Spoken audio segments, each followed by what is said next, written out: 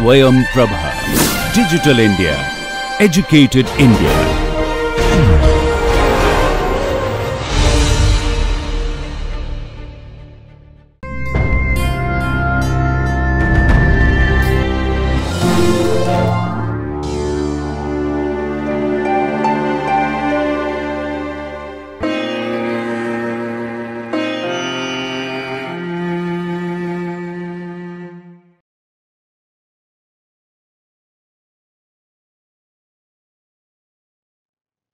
Dear students. I am Dr. Mona Semalty from HNB Garhwal University, Srinagar Garhwal. I welcome you all in this module and in continuation to our previous module on cosmetic preparations. Today we will discuss rheological additives which are used in cosmetic preparations. So this is our learning outcome what we are going to learn today. What is rheology viscosity and how to measure viscosity what are different types of flow and what are different rheological additives. So all these things we are going to learn today. And this is going to be our lesson plan dear students rheology and viscosity and uh, types of flow and viscosity different types of viscosity we will discuss viscosity measurement and different rheological additives. So rheology is about the flow. And when we apply it to cosmetic it plays a very important role in controlling the stability even when the product is at rest. So before understanding about rheological additives we need to understand what rheology is. And rheology is the science of flow. We study the flow characteristics in rheology. So study of the change in the form of flow of matter embracing elasticity viscosity and plasticity. So now viscosity. Viscosity is resistance to flow. Okay and measured by ratio of shear stress to shear rate. Shear stress uh, which is a force per unit area applied and shear rate is the resulting viscosity gradient. Okay, so this is what viscosity is. So in a gross term or in a, a layman term if we try to understand viscosity, see viscosity is the resistance to flow. Okay, if we take example of water and oil so dear student, can you tell me uh, uh, which liquid has the high viscosity? Okay, can you tell me? Water or oil? Obviously, oil has got the more viscosity. So, this way we can understand viscosity. Next, we will see different types of flow uh, Newtonian flow. In Newtonian flow, the viscosity remains constant no matter the amount of shear applied for a constant temperature. Okay. So, these fluids have a linear relationship between viscosity and shear stress. So, you can take example of Newtonian flow like water, mineral oil, gasoline, alcohol. So, these are examples of Newtonian flow. Now, non-Newtonian flow when shear is applied to non-Newtonian fluid, the viscosity of the fluid changes. The behavior of the fluid can be described by these four ways. Okay, so we are going to uh, now uh, discuss these Dilated flow, viscosity of the liquid increases when shear is applied. For example, quick sand and corn, flay, uh, floor, you can take example of dilated flow now pseudoplastic flow. Viscosity of the fluid decreases with increasing the shear. Ketchup, you can take an example. So, as you can also see in the figure, see uh, mm, the viscosity and the stress dilatant flow and how pseudoplastic flow is represented. Okay. So, Rheopectic, it is similar to the dilatant flow, but the difference is that increase in viscosity is time dependent. For example, cream and uh, gypsum paste, you can take example. Now, thixotropic, uh, thixotropic flow. Fluids with thixotropic property decrease in viscosity when shear is applied. So this is time dependent, okay, as well. This is also time dependent. You can take example of paint and glue. Flow characteristics. We will move now to flow characteristics. See, flow means motion and rheology is the science which uh, studies how the things flow. So, uh, what are the characteristics? Uh, every cosmetics and toiletry product, uh, they have a specific rheological uh, or we can say the uh, specific characteristics like flowing, vibrating, spinning, uh, dripping, running, swirling and sipping. So based on these characteristics, we can analyze the flow property of a liquid. Uh, measurement of viscosity. So dear students, uh, this you might be knowing already, but uh, here um, as we are talking about rheology and viscosity, so a little I will mention here that uh, measurement of viscosity. So uh, let's start like generally we measure two type of viscosity, absolute dynamic viscosity and kinematic viscosity. Okay, so proportionality, constant between shear stress and velocity gradient is often called dynamic viscosity or absolute viscosity. So dynamic uh, viscosity, a reciprocal of dynamic viscosity is fluidity okay so as you know so the ratio of shear stress to velocity gradient of the fluid is known as absolute viscosity kinematic viscosity it depends on absolute viscosity of the fluid so ratio of absolute viscosity to density of fluid is known as kinematic viscosity i just mentioned this type just to recall you quickly. So moving to the next slide. Measurement of viscosity. Just dear students, just please quickly recall uh, what are the uh, instruments used for the measurement of the viscosity. Uh, these are uh, this, these are called viscometers and viscometers only measure under one flow condition. So most popular viscometers to measure uh, shear viscosity are capillary flow viscometer okay so circular flow viscometer cone and plate viscometer and parallel plate viscometer. So i am not going in detail about how to measure and the principle behind the working of these instruments. So please dear students just go through. So this is a homework for you. Go through from the principle and the working of these viscometers now directly moving to the rheological additives. What is the concept behind? See dear students, please understand we are discussing here cosmetic preparation and rheological additives. Okay, so rheological additives, what is the use of rheological additive in cosmetics? So that means viscosity is going to play an important role. How? Take example of a lotion. When we squeeze a lotion, what happens? We need to apply a little force and we squeeze. So the lotion comes out from the container. Okay. So the way it comes out from the container and the form in which it comes out. Okay. So there viscosity plays an important role. And uh, see the cosmetic uh, whether we take the example of a perfume cream shampoo so the flow is important.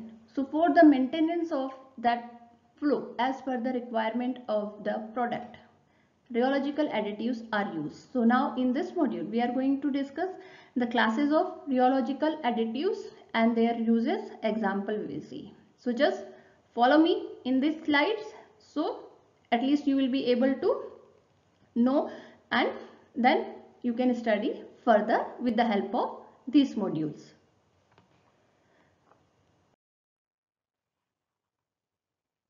So here till now in this module. Uh, let me little summarize uh, what all things we discussed. We discussed here the concept of viscosity rheology okay different types of flow. We discussed non-Newtonian, Newtonian flow, dilatant pseudoplastic flow and uh, other uh, types of flow and viscosity how to measure and what are the instruments which are used to measure viscosity of a fluid. Now moving to rheological additives which are used in the formulation. So this is the uh, I have represented a rheological additives in a tabular form just like uh, natural additives. Natural additives mean the source is from the nature. Uh, either it may be plant microbial or animal.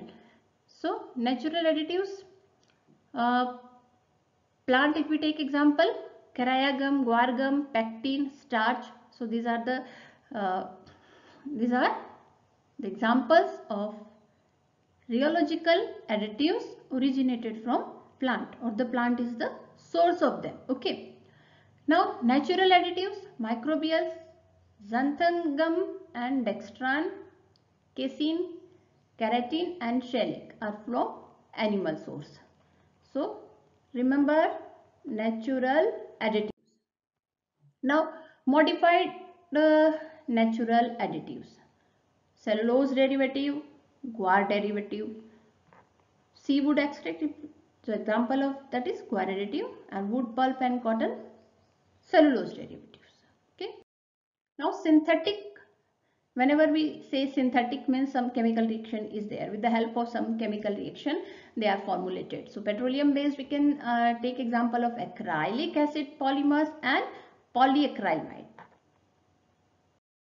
Then inorganic clays and amorphous silicon dioxides are example of these clays you can take different example of organoclays and uh, amorphous silicon dioxide hydrated silica fumed silica. These are inorganic rheological additives. Now moving to the natural gum.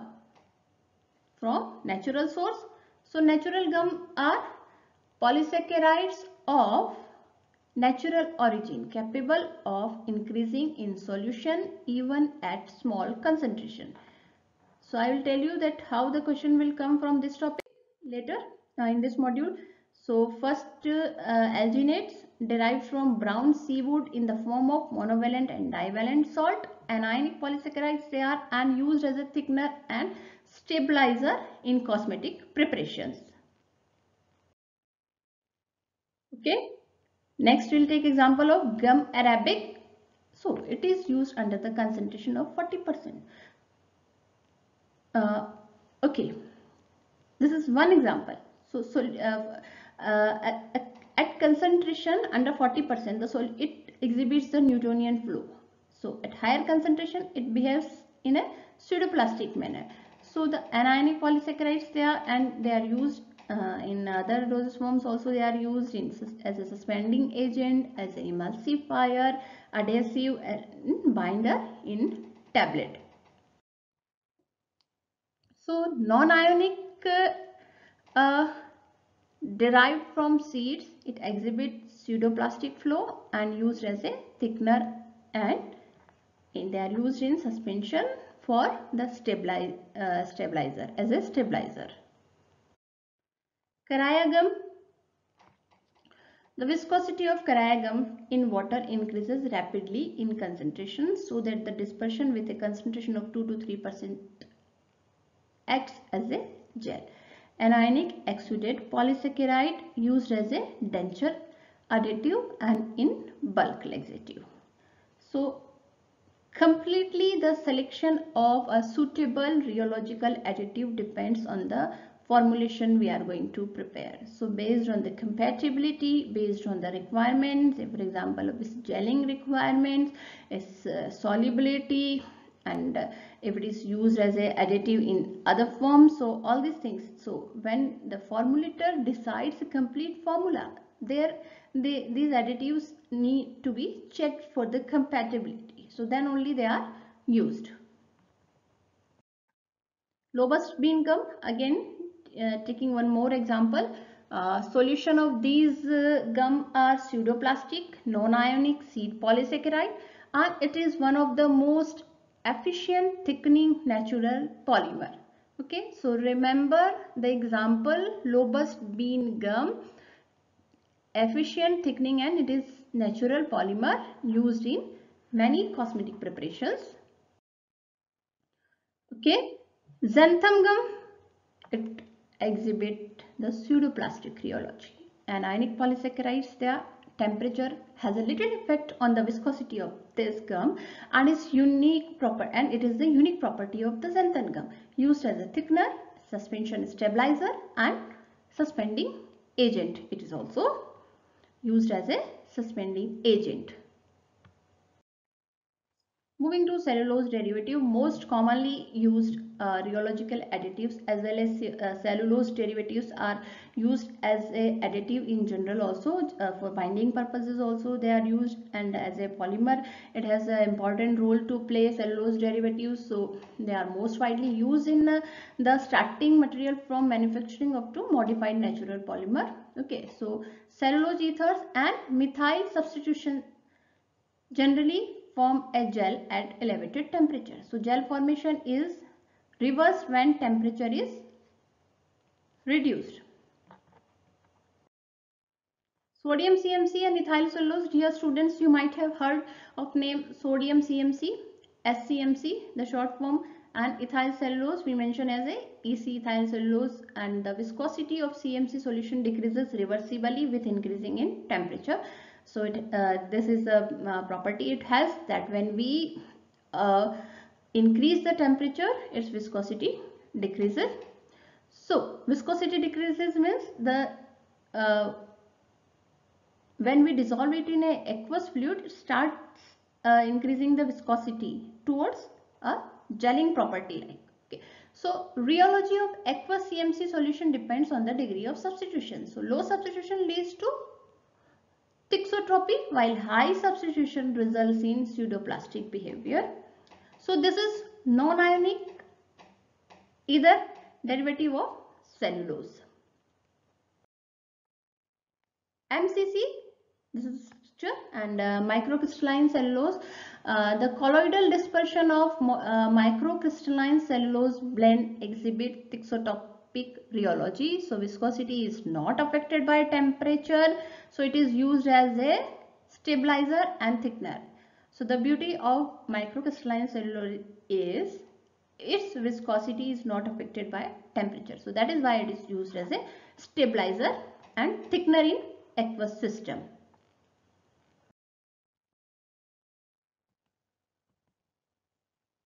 Synthetic polymers Synthetic polymers are compounds that are produced artificially by human from chemical process. Okay, some chemical interventions are there, synthetic process. I told you earlier also when synthetic uh, means some chemical reaction exists. So, with the help of some chemical reaction, they are synthesized.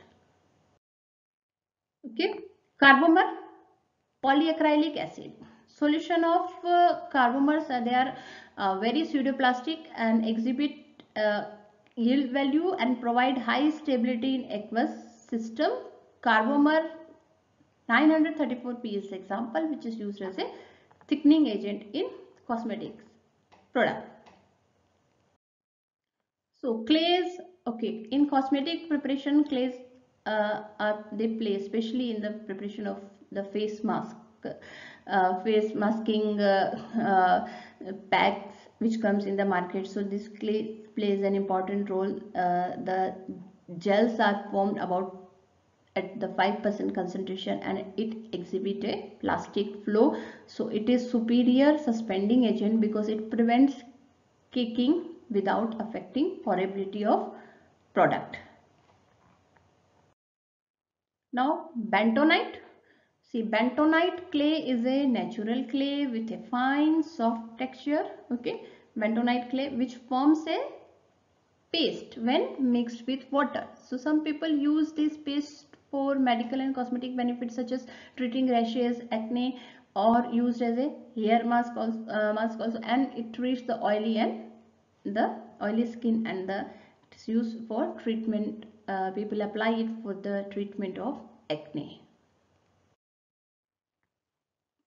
Other rheological additives. So, aqueous phase and non-aqueous phase. So, the earlier in this module which we discussed were the classification of rheological additives, natural, synthetic and natural uh, uh, we uh, studied about the rheological additive from plant source, microbial source and from animal source. So these are some branded uh, rheological additives. So uh, let's see uh, aqueous phase and non-aqueous phase additives. So aqueous phase, uh, associate thickener, hectorite, Bentone hydrophilic clays, non-aqueous uh, में Bentone, organophilic clays, Bentone gel, Thixcin R. So these are its brand name. Aqueous phase additives moving to as I said the Rolex family of rheology modifiers they are non-ionic polymer thickener designed especially for the personal care market. Hectorite which is a unique swelling clay offering several advantages and uh, bentonite M, A, E, W and LT rheological additives provides thixotropy to the aqueous phase. So aqueous phase additives aqueous phase additives means we can easily mix them with an aqueous phase like water. Non-aqueous phase additives means these are not soluble in water. So we need to go for if we will select a vehicle so the vehicle must be non-aqueous. Non-aqueous means oil, the other types of oils which are used as a vehicle in cosmetic preparations. So hectorite is now reacted with special vegetable quaternary ammonium salt to produce organoclays able to thicken and gel organic liquids. Okay. Non-aqueous phase additive bentonite gel. So, okay uh, it enables formulator to achieve the maximum efficiency from the organoclay without the need for careful shearing and activation. So this is the beauty of bentonite gel that it helps formulator in a way like we need not to apply the shearing and activation to when it is used in the formulation Okay, so for the high degree of thixotropy in aliphatic liquid, Thixcin R additive is the product to use. Thixcin R additives. You can mention it in the example also. So in addition to its effective rheological property, it gives water repellency, stabilizes emulsion and acts as a stiffening agent in lipstick and ointment. So dear student, you can remember it as like Thixcin R, which is used as a stiffening agent in lipstick and in ointments. So dear students, these are references. Just go through from these references for further reading. So now coming to the end of this module, let me summarize that what all we have studied. Concept of viscosity, concept of rheology, different types of rheological additive, their classification we have studied and some branded uh, brand names of uh, I have also told you about some brand names of the rheological additives in and uh, we categorize them in two forms aqueous form and non-aqueous form uh, additives rheological additives and the importance of rheological additives. Now little bit we, are, we will talk about the exam point of view so dear students rheological additives they are uh, part of the formulation of cosmetics. If it comes generally in the examination like if a general questions comes in the examination that how uh, that discuss the formulation of cosmetics then this is one part okay? So i have elaborated it much for your uh, for your uh, uh, reference but in exam it is a part in a major question and in 5 marks question if it comes a write a note on rheological additives we are going to discuss it completely because 5 marks it matters in the examination and this is up to you that how you are going to condense it. Okay.